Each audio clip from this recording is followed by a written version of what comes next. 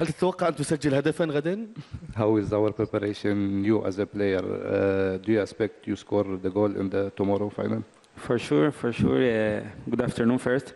Uh, for sure, I, I want to score. It's my, my wish to, to help my team and uh, the preparation. It's, it's like uh, always we try to, to, to make everything in the week that we have and uh, to, to do our best in the game.